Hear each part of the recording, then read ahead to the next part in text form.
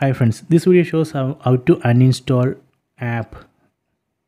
I will be showing two methods. Method 1. Go to apps. Then from this list, from this apps list, we need to select the app which we want to uninstall. So I am going to uninstall this uh, Disney Plus Hotstar app. Select the app, then press and hold select or OK button on the remote then select view details. Then select uninstall so this is this is a method one. Let me go to method two.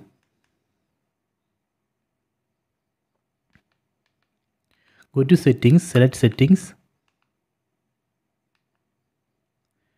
Then select apps. Then select see all apps then from this list we need to find the app which we want to uninstall. I am going to uninstall hotstar. Select it. Then select uninstall. Then select ok. Done. Hotstar has been removed. So this is a method two. So these are the two methods to uninstall app in this google tv